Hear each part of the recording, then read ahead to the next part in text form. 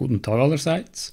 Ich möchte Ihnen heute noch ein paar mögliche Lösungen zeigen zu Übungen, die Sie hoffentlich schon in diesem Semester mal gelöst haben. Wir sind ja nicht dazu gekommen, alles im Unterricht noch einmal anzuschauen, aber falls Sie die Übung gelöst haben, wäre es doch noch sinnvoll, wenn Sie vielleicht Ihre Lösung mit meinem Ansatz noch vergleichen könnten. Bin hier auf unserem Git-Server, fangen wir mal an mit den Refactoring-Übungen. Es gibt ja da zwei Repositories. Das eine Refactoring ist für .NET 6 und das alte hier Refactoring.NET 5 ähm, ist halt, wenn Sie .NET 5 installiert haben. Ich kann Ihnen sonst schnell zeigen, wie Sie das herausfinden. Am besten machen Sie eine PowerShell auf und geben schnell ein .NET List SDKs. In meinem Fall sind jetzt beide installiert, das heißt, ich kann das eine oder das andere wählen. Ich gehe davon aus, dass Sie zumeist noch .NET 5 installiert haben und starte bei diesem Repository. Stelle mal einen Fork. Mache es mal privat. Und klone das Repository. Mache das mal in Visual Studio Code drin.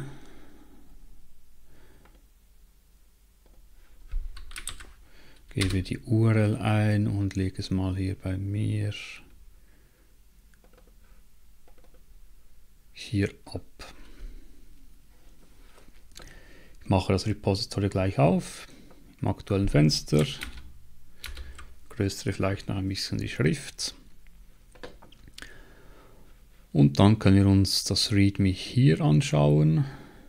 Ich kann es auch im Browser anschauen, aber ich öffne mal hier das Preview. Ich importiere noch die Binary Assets. So, jetzt haben wir es im Preview. Hier oben ist noch ein bisschen Theorie zum Refactoring, hat auch ein paar Links drin. Das schauen wir jetzt nicht mehr an. Gehen wir direkt zu den Aufgaben. Und es geht immer darum, erstens ein Code-Smell zu erkennen, zweitens einen Unit-Test zu schreiben, falls der noch nicht existiert und drittens dann ein Refactoring anzuwenden und dabei zu prüfen, ob der Unit-Test noch durchläuft. Im ersten Beispiel, diesem Stammbaum, gibt es schon einen Unit-Test, das heißt, wir können uns diesen Schritt sparen. Das ist ein unvollständiger Stammbaum, wie ich gesagt habe im Unterricht. Es wird einfach immer nur ein, äh, werden jeweils die Nachfahren abgespeichert, ohne dass man beide Elternteile, Elternteile hätte. Könnte zum Beispiel eine Erbfolge sehen. Also wir haben diese Dateien Refactoring-Ordner Family Member, Heritage und Family Member Test. Family Member, Heritage und dann hier Family Member Test. Also der Test existiert schon. Schauen gleich in den Code hinein. Äh, die Main-Methode verwendet auch dieses Beispiel. Die können wir schnell testen hier. Ist geschrieben, wie es geht. .NET Run Project Refactoring. Es funktioniert noch, gibt diese Ausgabe hier. Es wird auf dieser Stammbaum ausgegeben. Jetzt hat diese Klasse Family Member eine Methode getDescendants und die gibt einen Dictionary zurück. Der Schlüssel ist jeweils das, der Name des Familienmitglieds und der Schlüssel die Anzahl der Generationen, also Generation 0 ist oberst und dann halt 1, 2, 3 geht es weiter nach unten. Wir haben jetzt nur diese vier Ebenen, also 0 wäre ganz oben. So, schauen wir mal den Testfall an. Family Member Test. Hier wird ein fiktives Beispiel zusammengestellt, ABCD. Und dann wird einfach geprüft, ob dieses Get Descendants alles zurückgibt, was drin sein sollte führe mal diesen Test noch aus.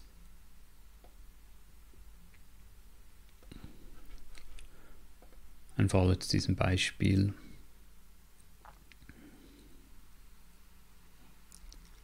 Das funktioniert. Also wir starten bei funktionierenden Tests, wie es sein sollte beim Refactoring idealerweise. Und jetzt schauen wir uns das Problem an. Konzentrieren Sie sich auf die Methode getDescendants. Was ist hier schlecht am Code und wie lässt sich das Problem beheben? Also das ist unsere Aufgabe. Ich gehe jetzt hier rein ins Family Member haben wir. Genau. Und diese Klasse hat eine Methode namens getDescendants. Und hier soll ein Problem vorliegen. Schauen wir uns das mal an. Also die Methode ist public, gibt ein Dictionary zurück, welche ein Family Member zu einem int mappt. Ähm, der Key ist eine, eine Instanz von Family Member, nicht nur der Name, wie ich es vorhin fälschlicherweise gesagt habe. Get Descendants und man kann hier einen Parameter Generation mitgeben. Gehen wir mal in die Main-Methode. Hier wird dieser Stammbaum aufgebaut mit den verschiedenen Generationen. Man fängt unten an bei den Kindern, geht zu den Eltern, Großeltern und dann noch der äh, Urgroßvater hier, der Otto, der dann zu oberst ist, sozusagen das Root-Element des Trees. Und hier macht ihr dann get descendants 0. Macht nochmal Family Member auf. Schauen wir, wie das hier verwendet wird. Wir fangen an bei 0 zu zählen und dann bei jeder Generation zählen wir es um eines hoch. Das ist der Zweck dieses Parameters. Also was passiert hier? Wir erstellen ein neues Dictionary und dann gehen die quasi die Erben hier äh, unter den Kindern durch. In Children, wir sind ja hier auf einem solchen Objekt, das nehmen wir an, wir sind auf dem Objekt Otto Otto get Descendants, ja genau das Root-Element. Es mal in README. Hier Otto, das Root-Element und hat zwei Kinder, Monika und Ned. Und jetzt sollen eben von dem die Nachfahren wissen. Also alle, nicht nur die Kinder, sondern die Nachfahren. Nachfahren sind ja alle rekursiv in diesem Baum drin. Sagen, nennen das Erben, also gehen die Erben durch in den Kindern. Und dann fügen wir die entsprechende zu mit einem Generation plus 1. Und dann auf der nächsten Ebene wieder eine For each Schleife, gehen wir die Großkinder durch und nehmen die Kinder vom Erben als nächste Stufe, fügen das wiederum hinzu und dann noch eine Schleife, wo wir dann die Urgroßkinder durchgehen, also die Urenkel. die Frage gemäß Readme ist ja, haben wir sie, konzentrieren Sie sich auf die Methode Get Descendants. Was ist hier, am, hier schlecht am Code und wie lässt sich das Problem beheben? Sie sehen hier, wir haben geschachtelte Schleifen und Sie erkennen wahrscheinlich, dieser Code funktioniert nur, wenn ich genau so und so viele Ebenen habe. habe. Wenn ich weniger habe, wird halt weniger ausgehen, das ist nicht das Problem. Aber sobald jetzt diese hier unten noch Nachfahren hätten, wird es nicht mehr funktionieren. Da müsste man einen weiteren For Loop einbauen. Und Programm, Programme sollte man ja so schreiben, dass sie mit allen Eingaben zurechtkommen, welche die gleiche Struktur haben. Und ob jetzt ein Baum 3, 4, 0 oder 100 Ebenen hat, sollte eigentlich nichts zu tun haben mit, dem, mit der Struktur des Codes, weil der Code sollte so strukturiert sein, dass er mit allen Bäumen umgehen kann. Also, und hier wäre die Idee, dass man das eben rekursiv programmiert.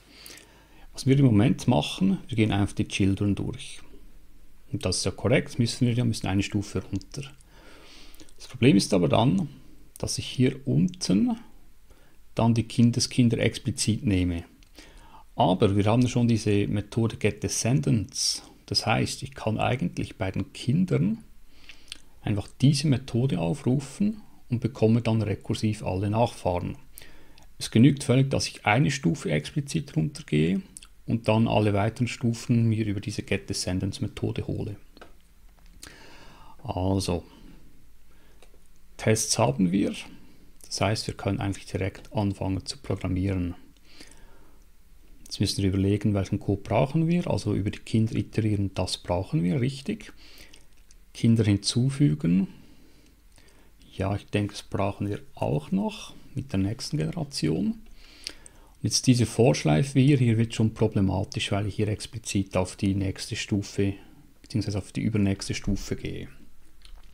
Ich schlage jetzt mal vor, dass wir diesen Codes mal auskommentieren, dass man noch was nachschauen könnte bei Bedarf.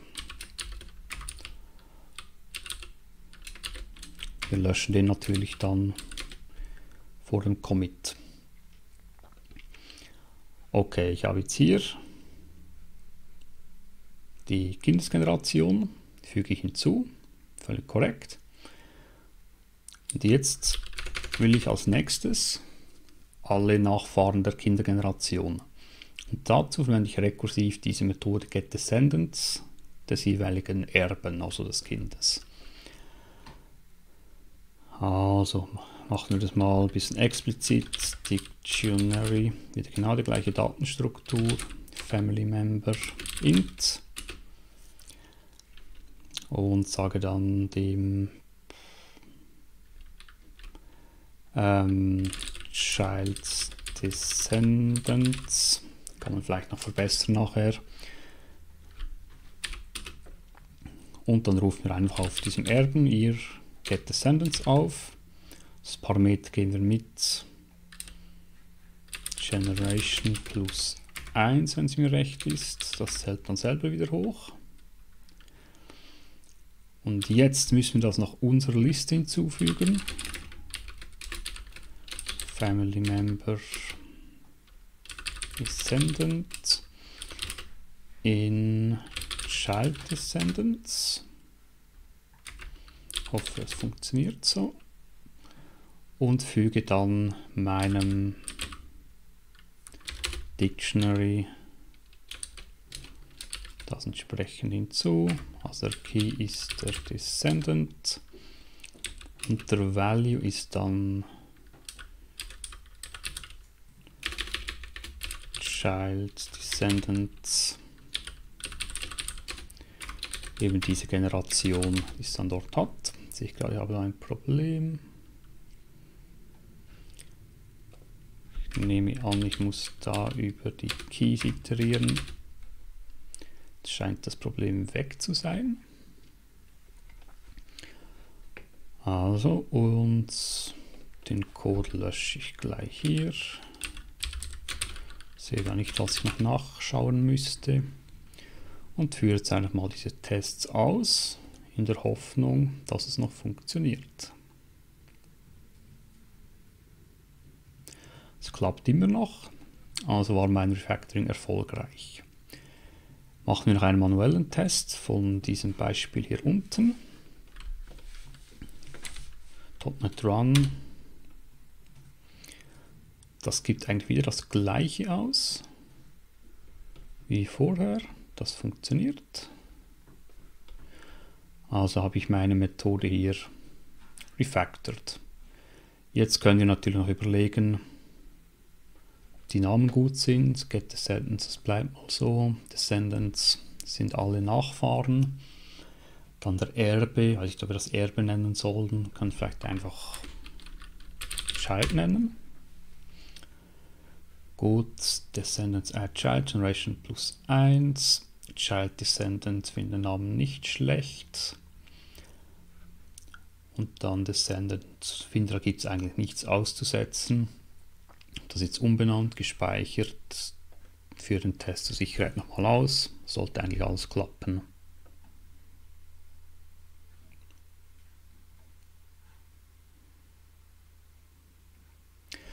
Wunderbar, das hat funktioniert. Git Status, äh, Family Member wurde geändert, Git diff, zeigt uns jetzt an, was alles geändert hat. Sehen wir ähm, bisschen Code gelöscht, Wissen dazugekommen, haben einen Loop weniger da. Quit, git add refactoring family member. Jetzt eine schlaue Message, refactored get descendants, use recursive approach. Also wir wählen einen rekursiven Ansatz, um das Ganze zu machen.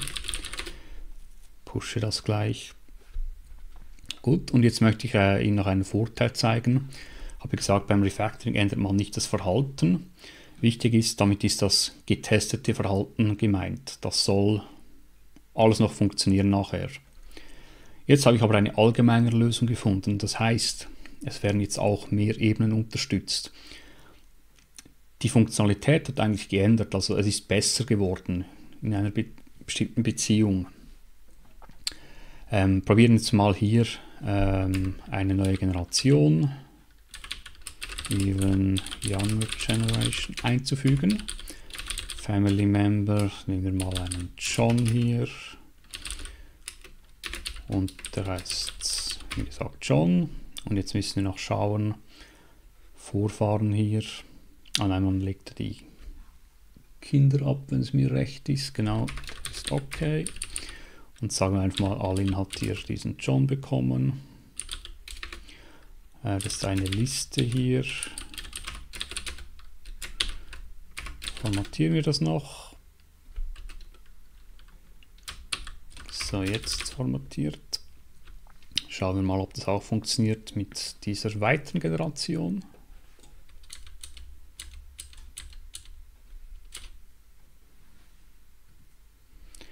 Ja, wir sehen, John ist jetzt Generation 4.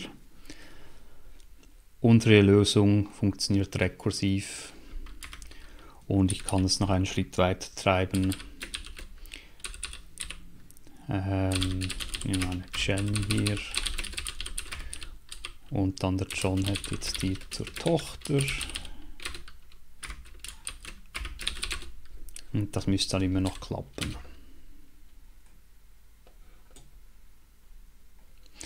Jetzt sehen Sie, wir sind noch eine Stufe tiefer und müssen unseren Code aber nicht anpassen. Das ist das Schöne an rekursiven Datenstrukturen und rekursiven Algorithmen.